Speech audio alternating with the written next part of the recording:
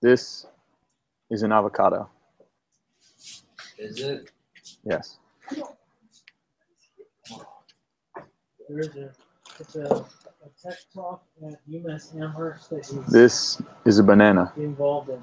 We got roped into TikTok. tech talk. Ah, TikTok. It's They just say they got roped into it. No. Well, it's true. This is a banana. Involved in. We got roped into Yes, Yeah. tech talk. Ah, I know the instant she posted it. It's They just say they got roped into it. That's true. This is a banana. Involved in. We got roped into Just give me a second. I know the instant she They just say they got roped into it. This is a banana. Just give me a second. Oh shoot! Wait, it's me. Oh, the YouTube video is playing in the background. That's why. Ah, there we go. That's the mystery. There you go. All right.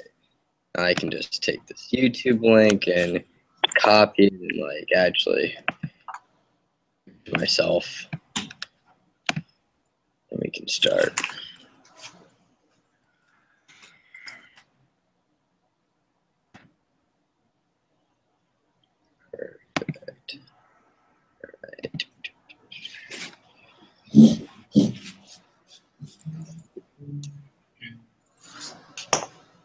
I'm gonna get some props.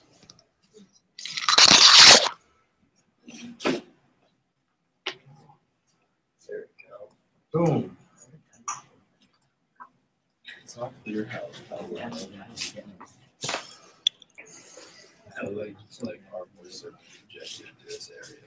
Obviously. Imagine.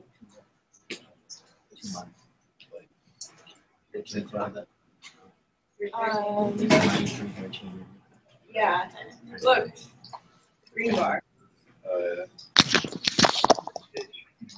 Very clear. I yeah.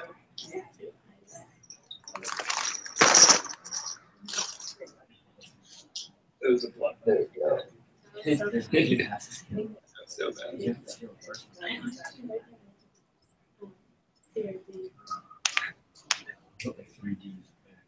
Alright, I'm so close. Also, um, who is here for the writing ish course thing. So the video is recorded. So You can leave. no, don't don't leave. Just like leave. Conor's awesome. Don't leave. But Conor, Conor. There you go. Sweet. Oh, your middle name's Daniel. That is correct. That's awkward. Facebook shouldn't be telling you that. It is. Thank you, Facebook. Um, So maybe we want to get started because I do have to sign off promptly at 6 p.m. yep. All right, so you can start right now. Go. Sounds good. How's everyone doing? Good. Good. Uh, you're all uh, UMass students. Yep. Cool. What are uh, are you guys in any specific department or kind of uh, from from all around UMass? Engineering? Yeah. All engineers. Engineers. Or, uh, who show of hands who has experience working with EEG? Not many. Anybody? I don't know. I can't see the back of the room. So, okay. How about uh, any type of bio bio tracking, biosignal, biodata? Nothing. Cool. Um, all right. Bunch of noobs. um, cool. Well, uh, my name is Conor. I'm co-founder and CEO of OpenBCI. Over here, I'll give you a little camera tour. That's Joel. Joel's my business partner and fellow co-founder. You met him earlier. And there's Irene, who's our resident neuroscientist. She's at the Ultra Cortex table, or Ultra Cortex assembly table currently. Um, and these are our 3D printers. And we've got a bunch of other stuff. Um, at any rate, you are you are peering into the Open BCI laboratory. Uh, workshop, HQ, whatever you want to call it. Um, do you? Who all is familiar with the device on my head? A little bit. So this is the Ultra Cortex, the latest version of the Ultra Cortex. It's the Mark III Supernova. Crazy name, I know. Um, it has a 16-channel uh, EEG amplifier embedded into the back. Uh, I'll just show you a different headset. So here's another version. This is the eight-channel version of the board. So this is a open BCI board that can take in uh, eight channels of EEG, EMG, or ECG data. Uh, similar to an Arduino in the sense that it's programmable. You can uh, change the firmware, you can adjust the settings, you can uh, uh, put in other inputs. So there's a few GPIO pins that you can use for inputs and outputs. So you can add additional sensors. Um, but then it is also extendable into a 16 channel version. So you can put what we call the, the DAISY module uh, onto the board and plug it in so you can double the inputs to 16 channels. Um, yeah, so I guess taking a step back, uh, is everyone familiar with EEG to a certain degree? So EEG is uh, stands for electroencephalogram, uh, and it is the measurement of electrical signals from the scalp. Uh, and simultaneously, uh, when you're when you're measuring from the head, you also get uh, not just brain data, um, but but muscle data from the muscles around your ears and your eyes, uh, muscles that you use to close your jaw. So when you're wearing a headset like this, you can pick up, um, you know, micro expressions from your face every time your eye blinks. Uh, all of this data can be recorded uh, and very easily seen. And then the the brain data, you have to kind of, uh, it's a little bit, it's a smaller signal, much smaller signal, um, but it's uh, very, in, it's you know, I, I actually I personally I'm just as interested in EMG data, muscle data, as I am EEG data, which is the actual brain activity. Um, but yeah, what I'm going to do now is actually give you guys a live demo. So what I want to do is share my screen if I can figure out how to do this. Uh, that's the one. Doo-doo-doo. Share. Cool. Can you see my screen? Yes. Yes, cool. All right, so this is actually, let me, before I do this, I'm gonna take a step back. So this is our website, OpenBCI, and you can see a spinning 3D model of a head wearing the headset that I'm wearing. Um, and I'll go into more detail about uh, aspects of our website. This is kind of if, if you want to dig deeper into the platform. But right now, what I'm going to do is show you uh, our go-to software. So we have software uh, that we call the OpenBCI GUI. Uh, who here is familiar with um, processing as a development language? So processing is a Java-based creative coding language. Uh, it was developed, I think, by some guys at ITP. MIT. MIT. Okay, MIT, not ITP. Um, and it's it's this kind of really, you know, very open and accessible development language. So we built our software on top of that. And here, let me show it to you. So I'm currently running. So I'm actually plugged in right now. Can you guys see this uh, graphical user interface? Yep. Great. Um, so do you see the eight channels here? Channels one, two, three, four, five, six, seven, eight. Yep. Okay. So those eight channels are mapped onto my head uh, as seen in, in the heat plot over here, the head map. So that little triangle at the front is my nose, and these little half ellipses are my ears. So channels one and two are on the front of my head, and channels seven and eight, and eight are on the back of my head, and, and these are mapped to these channels one, two, three, four, five, six, seven, eight. So if I start blinking my eyes very rapidly, do you see how the front of my head lights up and all of those bl- eye blinks are seen right there? Yeah? Wait, can you, you can't actually see me, can you, anymore? No. All right, so, okay, hang on one sec. Let's see if I can trick the computer. Hmm. Well, whatever. I'm doing these things. Do you see, do you see the eye blinks in, the, in channels one and two? Yeah. Yeah. Wink. Yeah, basically, I'm, I'm, I'm blinking both of my eyes rapidly. and it's creating those very strong wave artifacts. And now I'm stopping. And now I'm going again. Cool? And now what I'm going to do is I'm going to grit my jaw. So do you see that huge data? Huge, all the, that EMG data? So that's muscle data as a result of me clenching my teeth. And what you'll notice is that channels three and four produce the strongest signal. If I scale this down, so do you see how channels three and four here are producing the biggest amplitude, uh, scratchy frequency, high frequency wave? And those are visualized in channels three, four here. And that's because if, if you put your hands on the side of your head and you grit your teeth, the muscles responsible for, for using your jaw are on the side of your head and you can actually feel that happen. Um, so now what I want to do is show you some brain waves.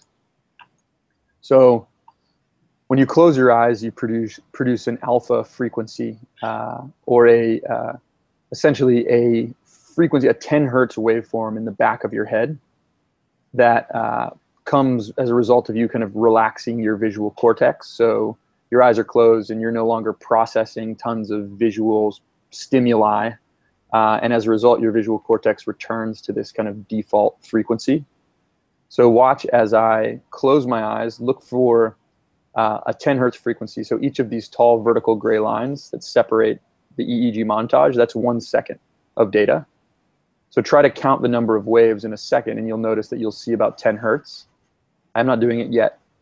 Simultaneously, you'll notice that on the, the frequency domain over here on the lower right, just above 10 or maybe about 11 hertz, you'll see the data spike up specifically with the red and brown lines. So I'm about to do it.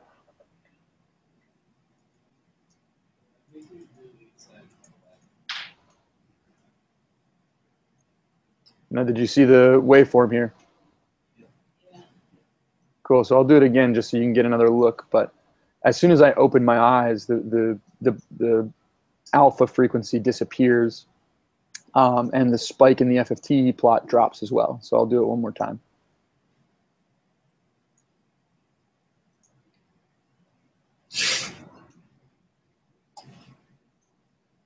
Cool. So that's that right there is very good.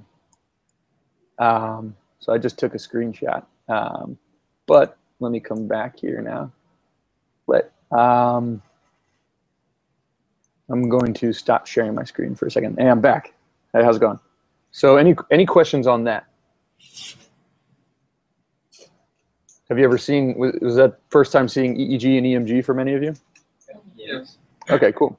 So, you know, what, what we want to do at OpenBCI is essentially make that data as accessible as possible and get, you know, grad students, PhDs, undergraduates, and maybe even high school students in, in the coming years uh, getting a better understanding of what what this biometric data looks like. So uh, having the ability to actually retrieve this data and interact with it in real time. So actually write code that is responding to this data as an input.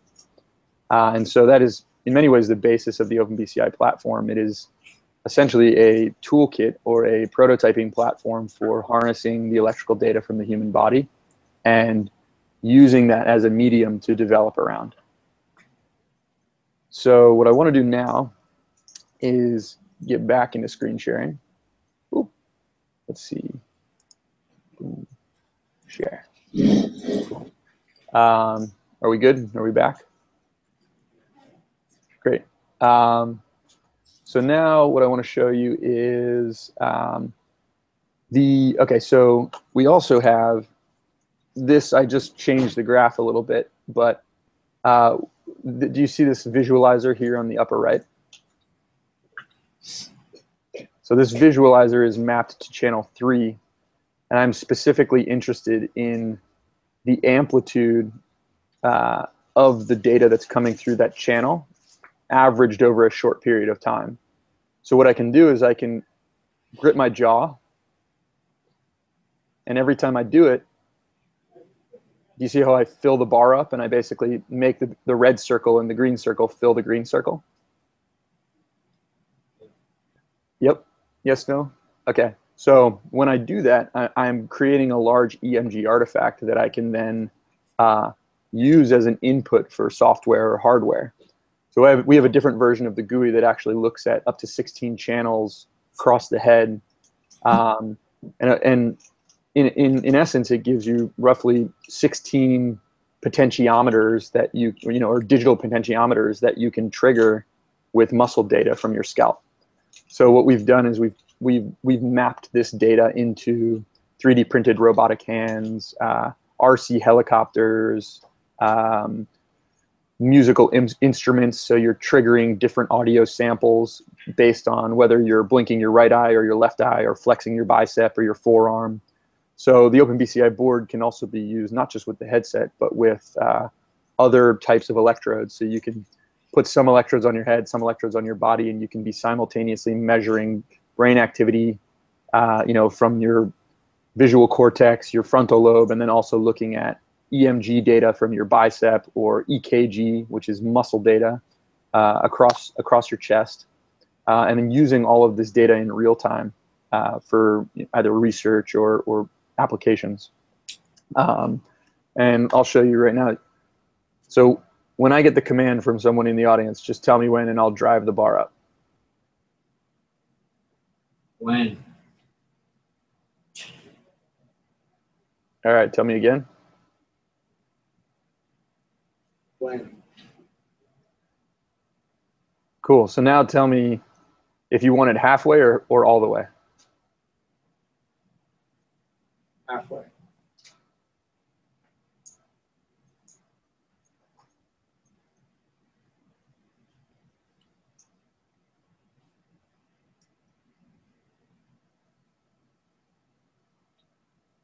And now I'm letting go. So you can see that it's not just uh, push button interactivity. I can actually, with with pretty, you know, minimal training and uh, you know relative ease, I can actually just kind of keep the the the bar at a mid level, and then when I decide to, I can just drive it all the way up, like that. So you know, I think the implications for this are really profound. I think a lot of times people are very excited about uh, the potential you know newcomers to the space are really excited about the potential of brain computer interface this or mind controlled that. Um, but i think it's also important to remember that you know we have this wealth of motor data that we still aren't implementing or harnessing. Um, that is actually you know a lifetime's worth of our brain training our muscles uh, to behave in a certain way based on brain intention. Um, so don't my, my only advice to you is don't get uh, blinded by the the sex appeal of of brain computer interfaces when there's a wealth of biodata outside of that that's a lot more practical for many applications. Uh, so just a little food for thought. We we're you know we've been interested in helping this individual with ALS for a long time, and in our kind of initial research, we had a conversation with someone at the uh, ALS Foundation, and they said that 90% of ALS patients maintain uh, some level of motor function in other words, muscle control until they die. So you're, you're looking at a subset of people now who are probably the people who need some type of, you know, bio-computer interface, whether it be brain or muscle, more than anyone else in the world. You know, I would say this group and probably quadriplegics or people with strokes doing stroke recovery. Um, so 90% of this population still has motor function over muscles in their face or their scalp or uh, around their body. Um, so you know, when you're thinking about designing a practical application for a group of people that need it, uh, don't be blinded by the the cool and wow factor of BC brain computer interface when this other data is also available. Now, I'm not saying that EEG is not exciting because it is exciting for both interactivity and um, other applications, but um, just definitely keep in mind that there, there is a lot of data. Um, so for with when it comes to EEG, there's a few ways uh, that the data is looked at. One is is classification in real time. So being able to look at the frequency spectrums, uh, the frequency spectrum and frequency bands in real time, and try and essentially reverse engineer them to to try and understand my brain's intention at any given moment. So one way you can do this is uh, called motor classification or sensory motor uh, classification, where you actually build an interface and you tell a user or a subject to wear the headset or wear the EEG device and think a certain thought for a period of time. So essentially, um, okay, think about closing your left hand or squeezing your left hand, and we're going to record 30 seconds of data. Now, great, we got that data. Now do the same thing, but with your right hand, and we're going to record 30 more seconds of data. And then you do this over and over and over again, and then you switch the system live, so you have this, these binned data sets, and now you can try and extract features or artifacts from the live data stream that match one of these binned data sets. And if it reaches a certain threshold, you can say, or, or a certain similarity threshold, you can say, okay, the user is most likely trying to trigger their like the, the thought that's correlated with them opening and closing their right hand. So let's trip that switch. So that in, in, a nutshell is kind of a motor classification uh, system.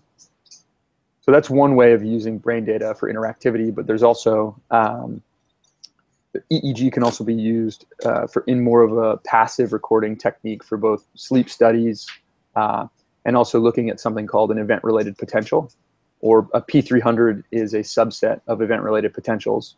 Uh, but an event-related potential is essentially exactly what it sounds like. It is your brain's uh, electrical reaction or potential reaction to being presented with a stimuli or an event.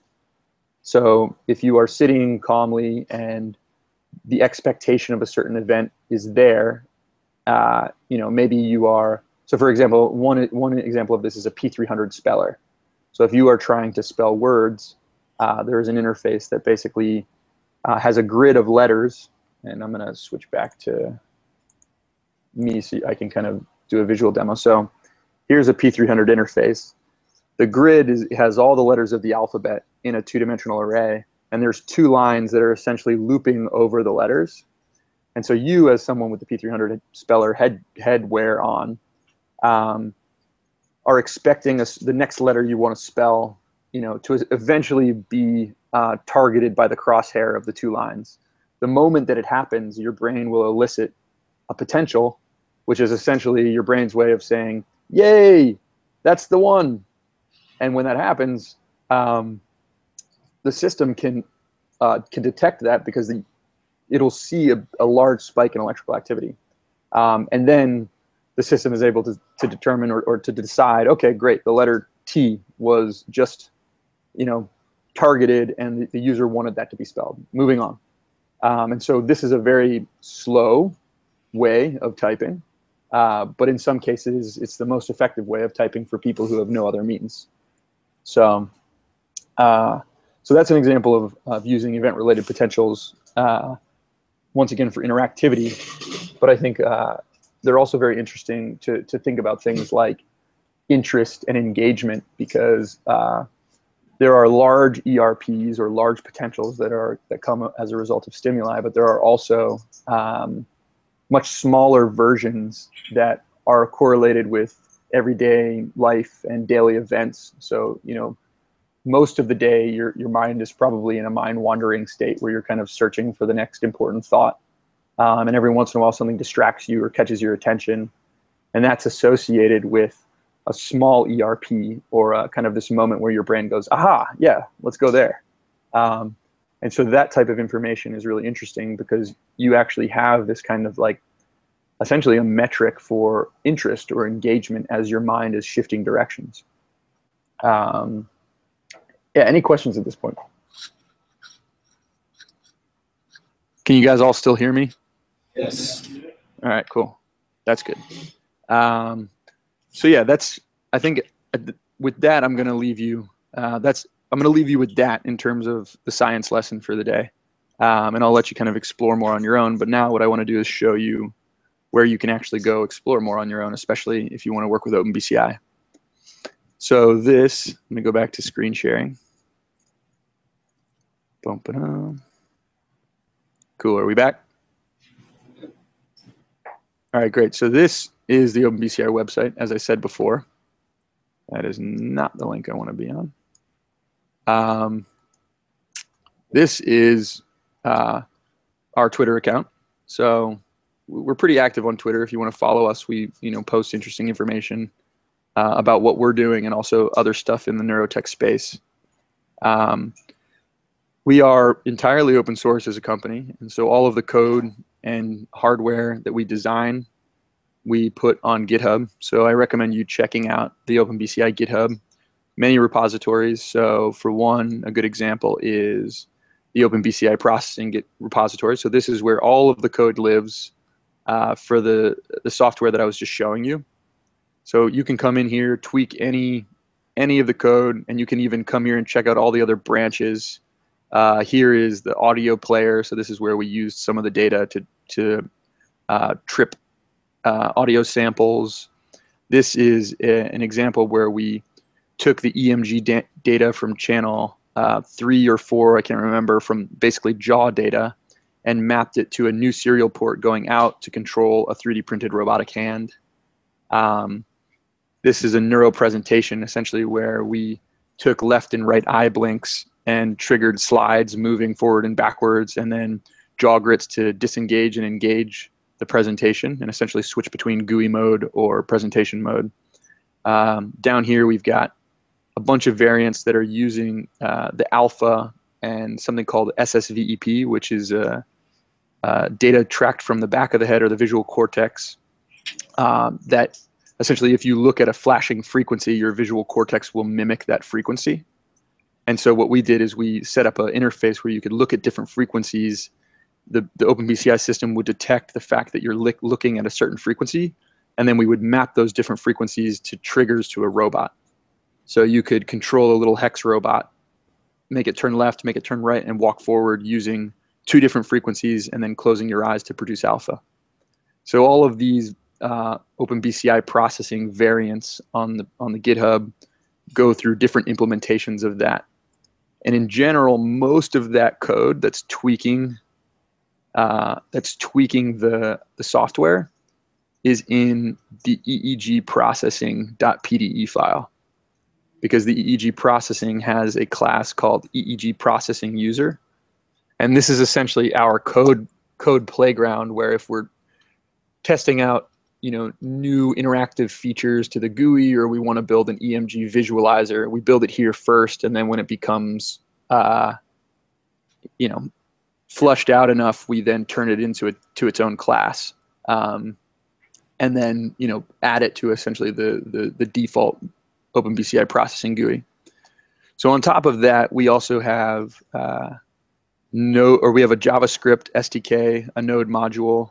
Um, we have uh, a Python repository where we've got some basic Python uh, getting started code to essentially get the data out of the OpenBCI hardware and into a Py Python app, uh, and a number of other uh, code repositories. But I'd say the Node.js, the processing, and the Python are, are, are our most developed software packages. And then also all of the firmware that's uploaded to the OpenBCI boards via Arduino uh, is also up here.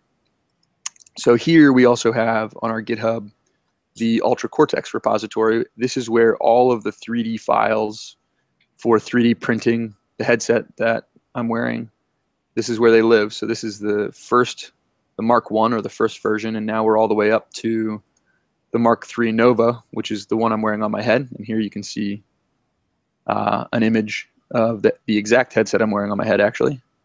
And we are currently in development of the Mark Four, which was featured on our recent Kickstarter campaign. And here is the concept image of the Mark IV, though it'll probably look a little bit different when it goes live. Um, so yeah, so another thing I want to show you is the community page. So we've been putting probably more and more effort uh, into the community page recently.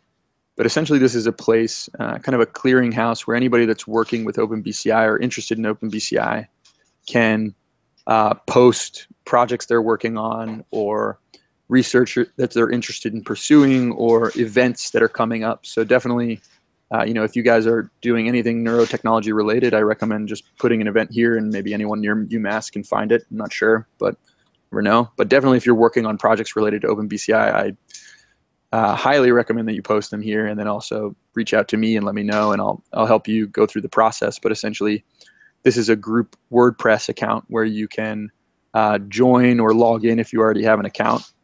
And then once you do, you end up on the people page Uh, and so these are all people who have registered as community members. And uh, every person has a little karma score associated. Uh, so here we've got Chip. He's our electric karma king. He's made the most posts of anyone. And here's his little bio and links to all of the posts he's made. Um, and then the learning page of our website is where we put uh, kind of official tutorials. Uh, for instance, the Getting Started guide, um, uh, tutorials on how to connect the OpenBCI hardware to MATLAB, Neuro- OpenVibe, and Neuromore, which are commonly used uh, signal processing software for, for EEG and other biosensing tools. Um, yeah, and so downloads is essentially just kind of a portal to a lot of the stuff that's on GitHub. Uh, the forum is a great place for asking questions. Um, if you're interested in learning what people are doing with OpenBCI and also other EEG and, and related hardware, definitely go to the community page and kind of dig into some of the posts that people have, have created. Uh, and then obviously our store. So this is where we sell gadgets and gizmos for working with OpenBCI. So as you can see, the, for pre-order, uh, we have a number of products from our last Kickstarter campaign. And actually the Nova and Supernova just went in the store today. So they are uh, the latest revision of the Mark III or the third version of the headset. Uh, and then we've got our, our, our boards here, which are kind of the, the microcontrollers that we use uh, for actually acquiring the data, and these plug into all of our headsets. Um, yeah, and here, if you you know if you're interested in kind of learning about the history of OpenBCI, you can check out both of our Kickstarter campaigns. So we were funded on Kickstarter twice. So we we ran a successful Kickstarter in late 2013, and then we just ran another one uh, in late 2015 which we are still in the process of fulfilling and hope to finish fulfilling by the end of the summer. Uh, yeah, and so that is pretty much OpenBCI in a nutshell. Um, so I'm gonna bring it back to back back to face to face. But do you guys uh, uh, have any questions before we wrap it up? So you said the headsets are all 3D printed? Yeah, so um, we offer uh, we offer print it yourself kits, but you know if you really dig in, you can source all of the components yourself. Uh, and if you have access to 3D printers, you can um, pretty much 3D print. Uh, I would say the majority of the headset, at least the structure, of the mechanical parts, uh, so that there's little nodes. Uh, the majority of the actual volume of the headset is 3D printed, and then we sell uh, electrodes and wires and the embedded electronics to make the headset function. And then if you are too lazy to print your own headset, we sell a fully assembled or an unassembled version of the headset as well.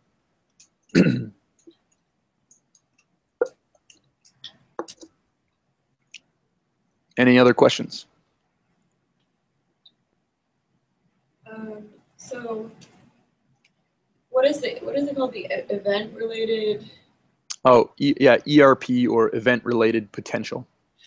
Can can like you record someone's brain, like someone's EEG or EMG, like e response to something, and then like have someone else use use that to like use one person's data would that correspond to like someone else like trying to control like do you know what i mean like would it could you use one person's like uh i don't know like what, whatever whatever task you're trying to train uh Oh, I see what you're saying. Are you so is is a training is a trained data set transferable between people? yeah like generally Not really. I mean, so yes, and I mean, I would say that if you were training a system or a classifier, you would most likely target the same regions of the brain on a given person, though not necessarily. Um, but if you were implementing or kind of engaging, uh, for instance, a motor motor cortex uh, interactivity system, you would have to retrain the system for a new individual. Uh, like it would it would almost definitely not work if you took the headset off someone and put it on someone else. yeah Well, it would like kind of depend. hmm You at least would need some level of calibration where you're you kind of know what you're looking for on the new subject, but you still have to train that data set. Right. Okay. Cool. Yep. like, how is it like determine like where all the electrodes are, or is it like is like getting brain data from all over the brain, or just certain parts of it? So, So there's something called the 1020 system, which is a, a- uh, essentially a internationally accepted map for placing electrodes in the context of EEG. So it's literally just like number 10 dash 20 system. Um, and so this map is what we use for uh, establishing the node network of our headsets. And then if you, you know, for instance, this node here is FPZ, and then the middle is CZ, and then the back of the head is OZ, and then there's a numbering and lettering system to uh, relay information like, oh, I was, you know, I had my electrodes on C3, C4. If you said that to someone else working in EEG, they would know where to place the electrodes to replicate the experiment.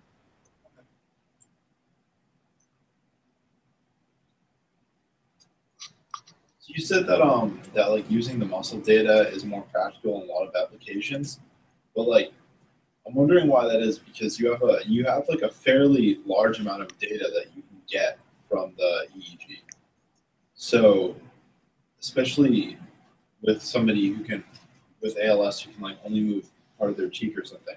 What like like why is it that you get you know um, get more useful data just like looking at the pulse of that muscle rather than something something in the brain. Like, is there issues with like resolution or like readability or something? I mean, it's just for one, brain data is teeny tiny in terms of power relative to uh, muscle com- data coming out of a muscle. So you're talking like microvolts, uh, you know, you know, one to ten microvolts as opposed to hundred or two hundred microvolts from, uh, or maybe even more from from muscle data. Uh, so just the the strength of the signal is much smaller, and then you've also got all of that data has to has to get through uh, skull, skin, sweat, hair. Uh, so the you know the elect the actual electricity or the electrons actually have to flow through you know substantially more material, which creates noise and dissipation of the signal. Uh, so you know you're just you have many more obstacles in terms of getting a clear signal if you're recording EEG than you do muscle, because muscle the only barrier is barrier is skin, uh, and the signal is much stronger. So uh, there's that, and then there's also the fact that you know your muscles is essentially this kind of like biomechanical amplifier of brain data that's being sent through your nervous system. So your brain is the source; it's kind of processing information that it's receiving and then translating that into movement or action. Um, but your muscle, you know, is at the end. It's kind of the, the furthest extension of your nervous system, and it is literally burning calories to amplify electricity to generate movement. So the signal is, is, is significantly stronger than something that you're recording from the head. And it's also, you know, the intention of the signal. So when you're flexing your muscle, uh, the only reason that electricity is there is because your brain told it to be there. Whereas your brain is like this ocean of all of this stuff going on at the same time. Uh, you know, vision, hearing, uh, you know, language, uh, you know, everything that could actually be possibly conceived by consciousness. So it's just a, a much more complex signal.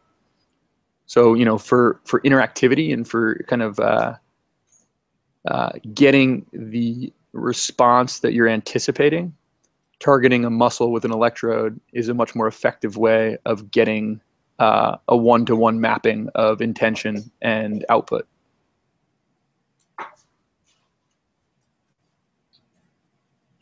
Um, I have a question. When you were creating this, you know, OpenBCI board, what was the most challenging part in the whole process? What was the one thing, or if there was one thing that really stood out when you were trying to build?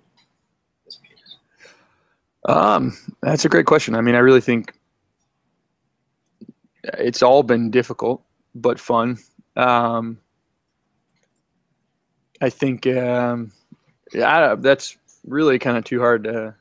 There have been many difficult things. I think some of the most stress, stressful or frustrating parts of the whole experience were uh, Kickstarter fulfillment. So if you're ever thinking about running a crowdfunding campaign, just make sure uh, that you don't bite off more than you can chew, because I think it's really easy during crowdfunding to promise more than you can deliver, uh, because you're in you're kind of in the spotlight and you feel like you have this limited amount of time to to tell the world what you're capable of, and then you end up maybe uh, taking risks that you shouldn't. And I think uh, we did a pretty good job of not biting off more than we could chew, but I think uh, you know we definitely had our hands full after the first Kickstarter campaign, and I like to think this time around we're a little bit better uh, primed to deliver on time.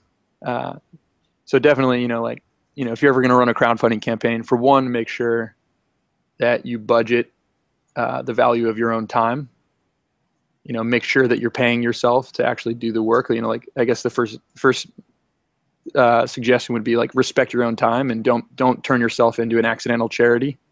Um, and then two, you know, make sure that you're not making false claims about what you're actually capable of building. Because then you're just going to end up in a really stressful place. I'm not saying we did that, I, but I think uh, there was fear of that at times, and then we ended up kind of pulling through. Thank you. Does anyone else have any other questions?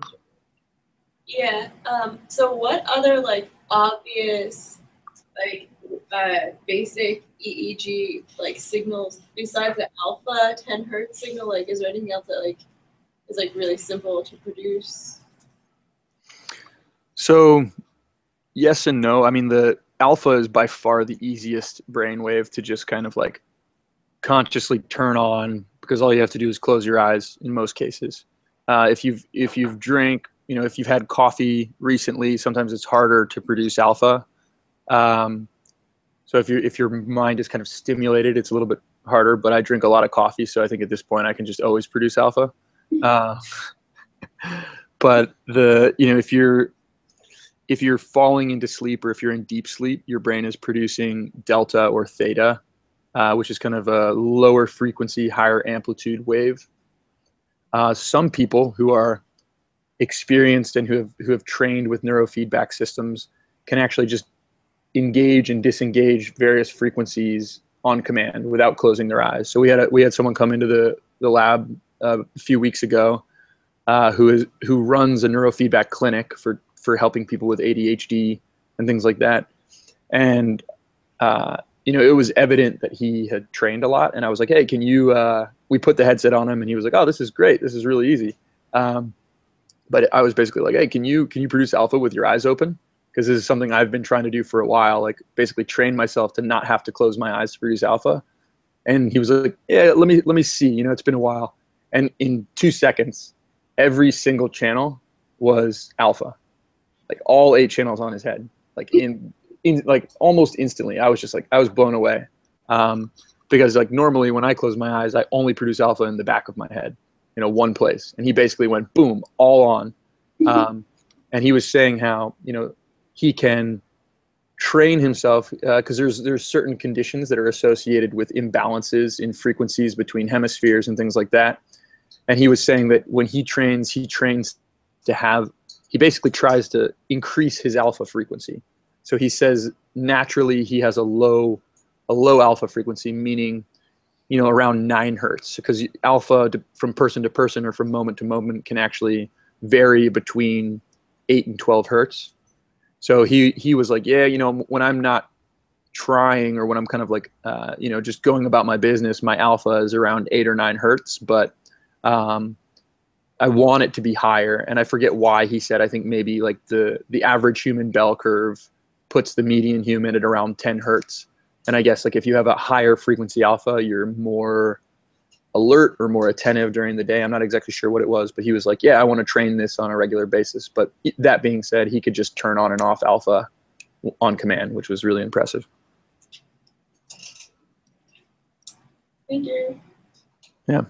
Anyone else have any questions? Well, thank you for speaking today. Yeah, no problem. Thank you. Thank you for having me. And thank you again Thank you everyone for coming, and if you want to take a few cookies on your way out, that'd be good. And I'll have a cookie. Only avocados and bananas for you. All right, I'll eat my banana. But thank you again for um, presenting, and I hope you enjoyed this. All right, thank you. Feel free to reach out if you've got follow up questions, anyone.